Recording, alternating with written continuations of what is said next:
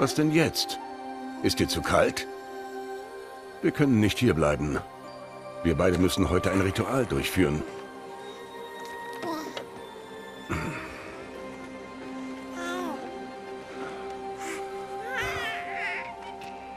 Hier. Trag das. Es gehörte meiner Tochter.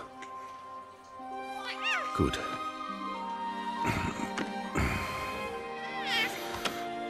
Heute werde ich deinen Namen nennen.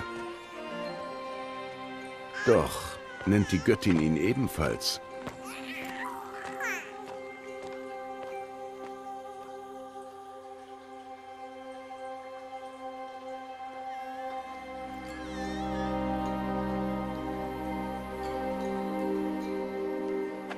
Eigentlich würde deine Mutter das übernehmen, wenn du eine hättest. Das ganze Dorf wäre anwesend. Matriarchen vollziehen das Ritual. Aber wir sind Ausgestoßene. Doch trotzdem ehren wir die Stammesrituale. Ansonsten werden wir noch wie die ungläubigen Alten, die sich von der Göttin abgewandt haben. Doch ihr Unglaube war ihr Untergang. Für uns bleibt jetzt die Herrlichkeit der Schöpfung. Bestien in Luft, Wasser, Erde und Stahl.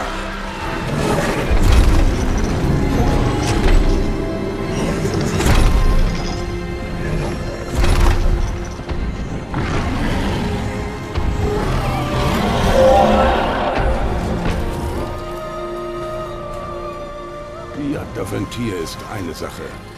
Ganz anders als die auf Maschinen.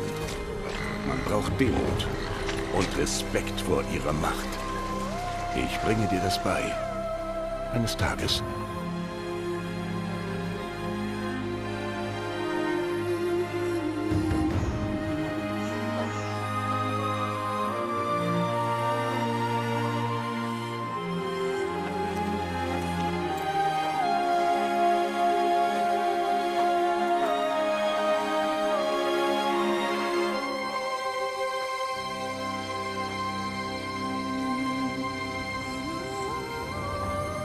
Erzmutter Tirsa. Warum ist sie hier? Will sie das Ritual verbieten?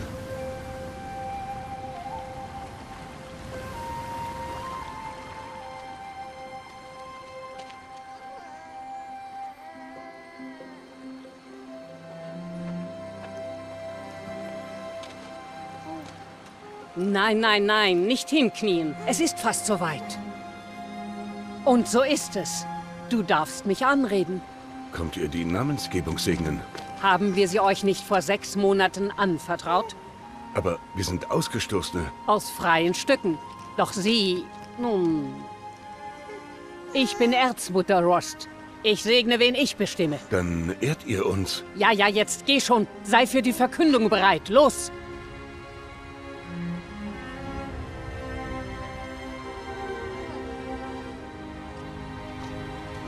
Urmutter, dieses Kind muss einen Namen verliehen bekommen, auf das deine Liebe ihr Leben wärmt, wie die aufgehende Sonne die gesamte Erde. Sprich ihren Namen! Aloy!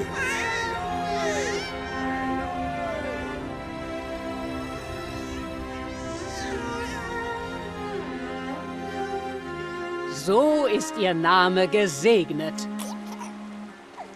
Aufhören, sofort! Was hast du getan? Die Namensgebung eines Kindes gesegnet. Störrisches Weib, diese Plage nennst du ein Kind? Was hat sie über ihre Geburt gesagt, Aussätziger? Antworte! Ich tat nur, wie ihr mir befohlen habt. Sie aufzuziehen, ja. Von Liebe war nie die Rede. Genug. Und du, ihren Namen zu segnen, als wäre sie Ich eine der nur eine des Stammes. Auch dir gegenüber. Ohne eine Anmerkung. Oh, Ich bin hier. geplant? Und wo du auch hingehst, Ich folge dir. Du wusstest genau,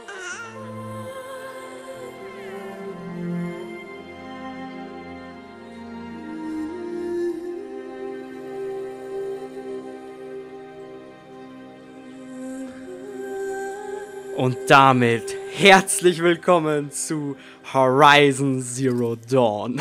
Mensch, wie ich mich auf dieses Spiel gefreut habe. Und das Intro gerade, wie episch war das denn? Ich gebe zu, es war ein bisschen wie in König der Löwen, gerade die Anfangsszene hier am Felsvorsprung.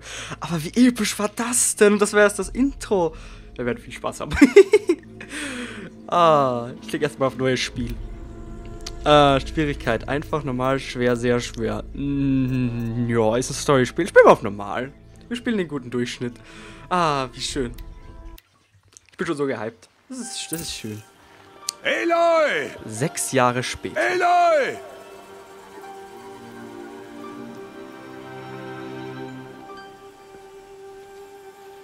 Hui. Blaubeeren. Yum, yum.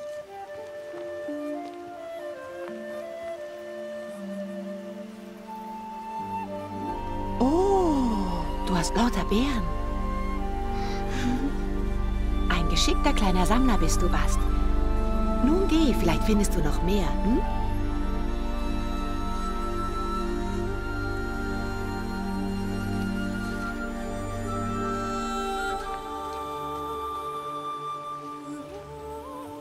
Wirklich toll, gut gemacht. Kinder, kommt mit mir. Was? Die Ausgestoßene ist zu meiden. Was? Wie gemein ist das denn? Aber, aber wieso?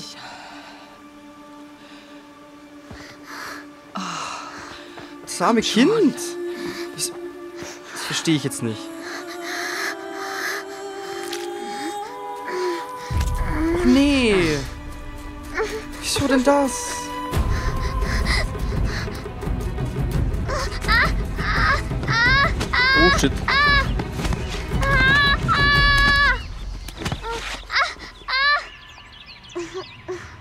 sind wir jetzt reingefallen?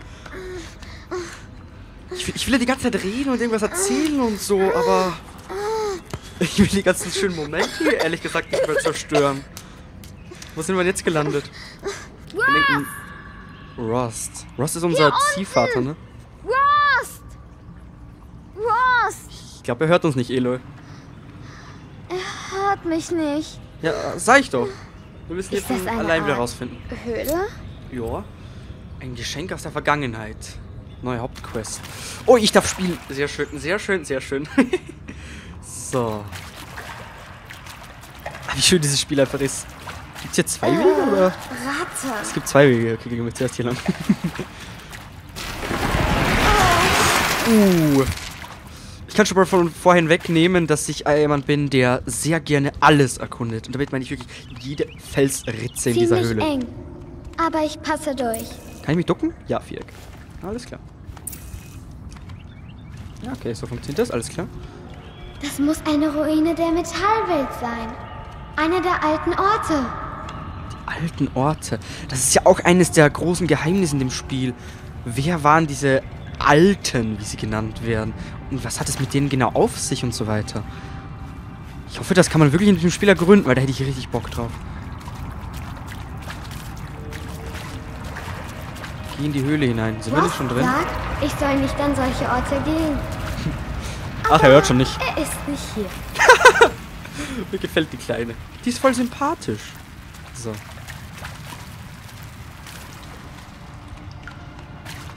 Wo sind wir denn hier? Also ich vergleiche mich ja gerne mit den Charakteren hier im Spiel. Also ich stelle mir immer vor, was würde ich in dieser Situation tun? Weil ich denke mal, so ein kleines Kind, sechs Jahre sind wir ja alt. Also geschätzte sechs Jahre.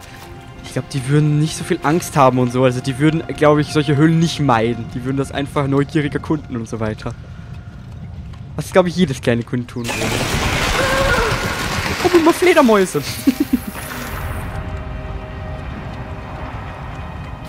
Da vorne ist irgendwas. Was denn? Das ist ja wirklich hier keine normale Höhle. Es ist irg- irgendwas künstlich gebaut. Das fällt mir gerade so auf, ne? Es ist ja wirklich. Was ist das? Das ist eine Leiche. Ein Toter. Oh shit. Sollen wir da hingehen? ich meine, das ist nicht Resident Evil, also. Da glänzt doch etwas. Was ist das denn? ist nicht natürlich.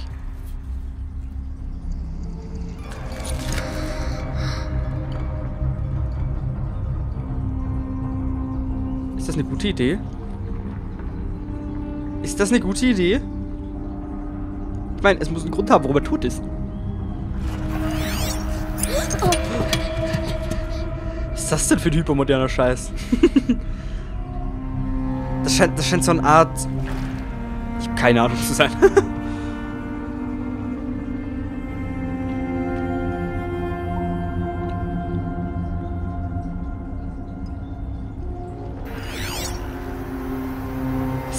Das denn? Was? Lichter, überall. Boah, wie cool. Das scheint, das scheint so eine Art Wie macht es das? Ding zu sein, was das ganze elektronische Gedöns sichtbar macht. Das ist so eine Art so eine Art zweite Wahrnehmung. Interessant. Okay, Eine Metalltür. Bunkertür. Verschlossen. Vielleicht komme ich ja mit dem Gerät Da hier ist ein. Kasten. Ein Holoschloss. Kommen wir da hin? Kommen wir da... Ich glaube, da müssen wir anders irgendwo hin, ne? Ich, ich, ich, ich guck's mir einfach mal so an. Vielleicht kriegen wir noch Informationen. Also ich weiß ja, wir müssen da irgendwie zum Kasten. Da ist was. Es hängt mit der Tür zusammen. Meine, hier komme ich nicht drüber, oder? Nee, aber, aber wir müssen da irgendwie rüberkommen. Aber das, das kriegen wir hin. Ja, das kriegen wir hin, das kriegen wir hin, auf jeden Fall. wir können rennen, sehr schön. Das habe ich selbst herausgefunden. Siehst du mal. Mami, das habe ich ganz alleine gelernt. schön. So. Da vorne sind wir doch, oder? Das ist doch, oder? Ja, ich glaube, das ist das. Ja, Code Nexus. Gucken wir mal. Krieg ich bei den Sachen eigentlich auch Informationen, wenn ich daran gehe? Nee, ne? Ja, okay. Die leuchten jetzt aber trotzdem. Okay. Kann ich das verwenden? Gegen den Uhrzeigersinn oder im Uhrzeigersinn? Ähm. Im, Im Uhrzeigersinn vielleicht? okay, wir gucken uns das einfach mal an. Da zur Tür müssen wir. Okay. Geht das die Energie nach unten? Sehr schön. Ein Farbwechsel? Okay. Also ich weiß auch nicht, was ich wirklich was ich davon halten soll, aber schon richtig gewesen zu sein. Okay, wir gehen einfach mal weiter. Uns wird ja glücklicherweise angezeigt, wo wir hin müssen. Okay, was ist das da? Ach, geht jetzt die Tür auf? Oder? Kann ich drüber hüpfen einfach so? Eloy, kannst du das? Nee, kann sie nicht, okay. Aber dieser Hintergrund-Soundtrack, das ist so mystisch, einfach nur so schön. Ein Farbwechsel an der Tür. Nice, okay. Okay, Strom ist ein. Sehr schön. Jetzt können wir die Tür öffnen. Sehr schön. Geilo. Geschafft. Das ist eine schöne Mechanik. Finde ich innovativ. Finde den Ausweg. Ist das schon der Ausweg? Ich gehe doch noch tiefer in die Scheiße. Wollen wir wirklich runter? Hier drüben ging es doch noch weiter. Da guck ich mich vorher nochmal um. Oder nee, hier kommen wir gar nicht weiter, ne? Können wir da nicht drüber hüpfen? Kannst du dich da nicht durchzwängen, so klein wie du bist? Was ist das denn? Was ist das für ein Symbol? Was ist das für ein grünes Symbol? Sieht aus wie so ein Cube. Aber wofür? Keine Ahnung. Vielleicht werden wir es ja noch herausfinden. Vielleicht wird ja irgendwann noch eine Funktion bekommen. Vielleicht. Ich hoffe es mal. Ich meine, dieses Spiel wurde so mega heftig angepriesen. Monate hinweg. Und ich glaube, die haben nicht mit leeren Karten gespielt. Also die haben schon wirklich Was ist das? ein Spiel gemacht, das richtig heftig reinhauen wird. Meinst Okay. du, dir gefällt das? Es geht nicht besser. Er ist direkt hinter dir. Was? Hi! Alles Gute, Isaac. Papa liebt seinen großen kleinen Mann. Schau, Daddy kann nicht bei dir und Mom sein, aber wir können trotzdem feiern, oder? Klar können wir. Was? Zeig's mir. Zeig's mir nochmal. Nicht besser. Er ist direkt hinter dir. Hi! Hi. Alles Gute, Isaac. Papa liebt seinen großen kleinen Mann. Schau, Daddy kann einsam sein, aber wir können trotzdem feiern, oder? Klar können wir. Das ist eine aufgezeichnete Projektion Alles von Gute, irgendwann. Isaac. So eine. Ja, so eine aufgezeichnete Projektion. Einen großen kleinen Mann. Ja, das, das, hat, das hat er gesagt, Eloy, aber ich weiß nicht, ob das für uns so relevant gerade ist. Gehen wir einfach mal weiter. Hier passen wir doch durch, oder? Ja, natürlich. Nicht ohne Grund sind wir so klein. Hat einen Grund. Wir sind nicht einfach nur jung, wir sind einfach nur gut gebaut. okay, hier können wir rein theoretisch nach oben. Dann gehen wir jetzt erst hier entlang. Es ist zwar ein Open World Spiel und ich weiß, dass wir später hier nochmal her können.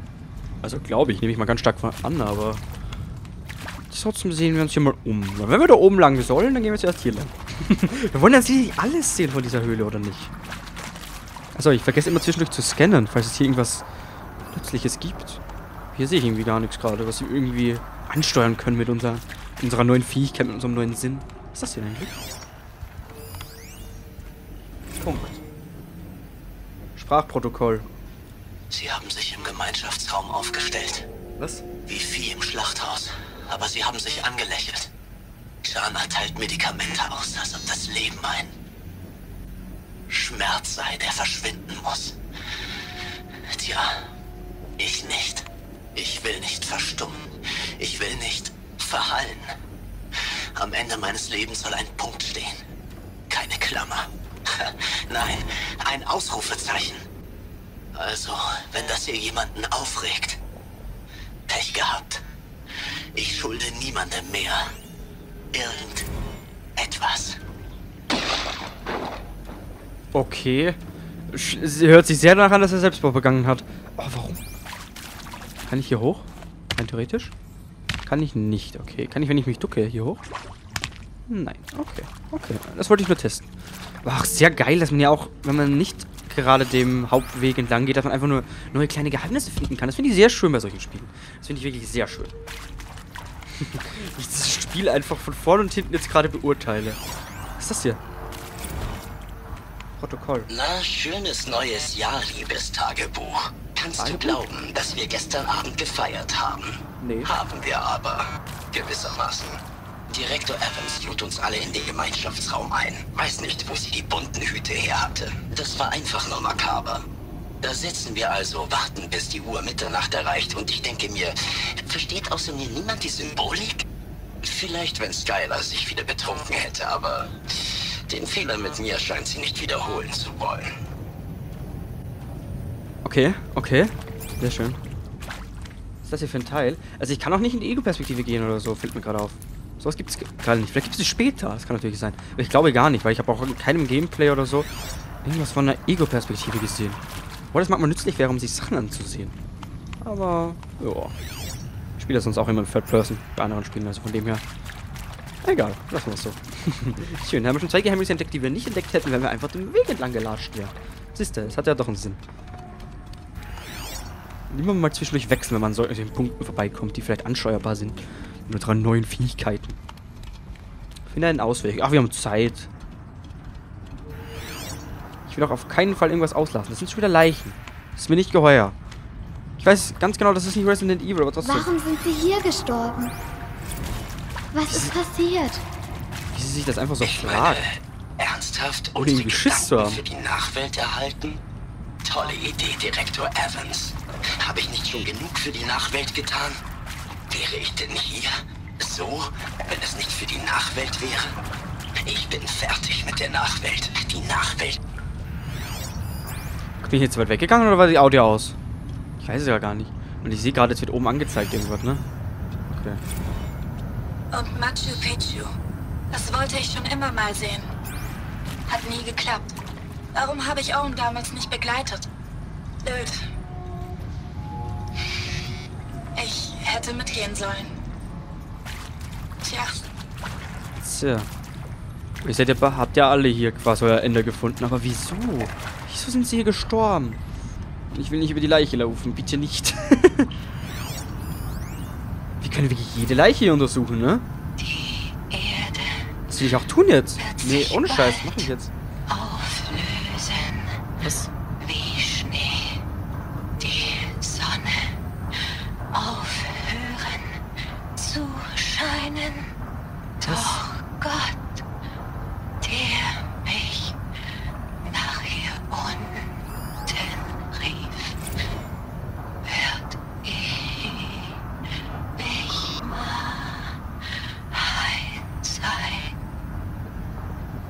Okay, ich, ich habe gerade so eine leise Vermutung. Also ich frage mich gerade, sind das hier Erinnerungen oder Hologramme, wie man es auch immer nennen will, von vor der Zeit der Maschinen? Also bevor die ganze Scheiße hier eskaliert ist?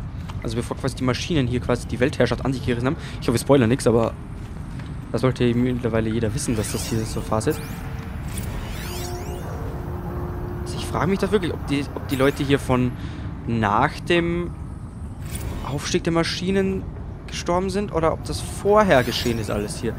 Und vielleicht ist nicht. das alles, was ich brauche. Weißt du, als die Tür sich geöffnet hat und du da gestanden hast, in diesen Retro-Klamotten und mit diesem Retro. Lächeln.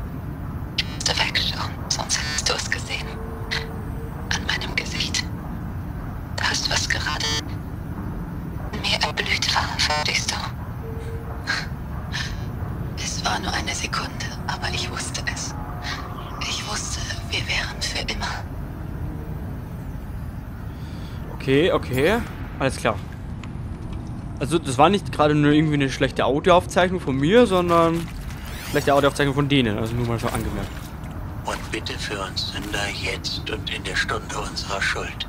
Äh, Ich meine, unseres Todes. Tut mir leid. Ist lange her. Und die Medikamente, die Chana uns gegeben hat, sind echt stark. So, okay. Nochmal von vorne, Kinder. Gegrüßet seist du, Maria. Dann bete mal weiter. Aber anscheinend hat es dir nichts gebracht zu beten. Okay. Gut, dass ich jetzt äh, auch gecheckt habe, dass man oben am Radar auch sieht, wenn es irgendwas Lustiges gibt. Ist auch gut zu wissen. So. Sich immer ein bisschen umgucken. Ja, ich höre dich, Rost. Er ist da. Rost hat mich gefunden. Ah, Hier wir. unten. Ich komme. Hallo. Ich komme. Wie sollen wir denn da hoch? Ach, hier. Okay. Urmutter sei Dank. Ach, wir sind robust. Komm, Kind, Keine Sorge. nimm meine Hand. Das ist kein Ort für dich. Komm hoch. Ja, Hi. solche Orte sind verboten, Aloy. Bin reingefallen. Sie gehören zur Metallwelt. Was hast du da am Ohr? Nichts. Nichts. War das äh, da unten? Nee. Nein. Ich wusste, dass du das sagst. Los, gib es mir. Ah, schön. Nein. Aloy, solche Dinge sind gefährlich. Nein.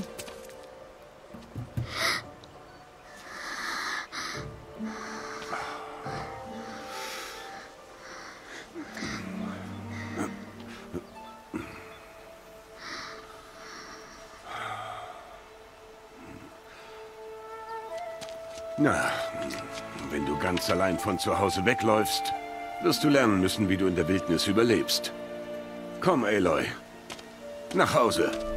Und ab morgen wirst du lernen zu jagen. Oh. In so frühen Jahren schon lernen zu jagen? Ist das nicht ein bisschen verfrüht mit sechs?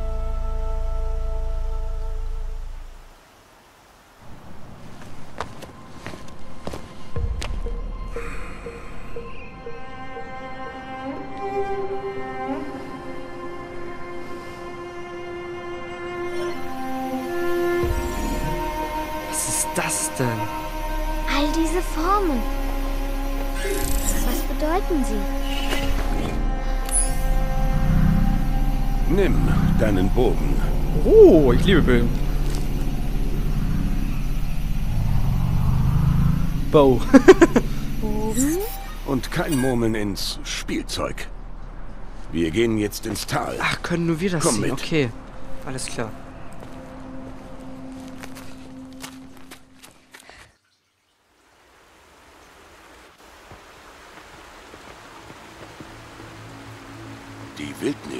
Gefährlich sein, Aloy. Du musst bei mir bleiben und tun, was ich sage. Ich weiß. Du bist immer noch zerschrammt vom Sturz gestern. Fangen wir damit an. Nimm diesen Medizinbeutel. Ich zeig dir, wie man ihn füllt. Okay. Siehst du die Pflanze hier drüben? Das Ja, ist ein Salbestrauch. Sammle seine Beeren in deinen Beutel. Äh, nee, das werden wir in der nächsten Folge machen, denn wir sind schon viel zu lange über der Aufnahme und ja, ich wollte eigentlich... Komm schon. Also, sei still, wenn ich rede. Kann ich auf... Ja, ich kann auf Option drücken. Sehr schön, das mache ich bei Spielen. So, dann würde ich sagen, Leute, ich bedanke mich für eure mega heftig krasse Aufmerksamkeit. Und ja, wir sehen uns in der nächsten Folge wieder. Das Projekt wird jeden Tag um 15 Uhr online kommen auf meinem Kanal. Und ja, ich sage, Rayon sagt ciao, macht's gut und bis zum nächsten Mal, Leute.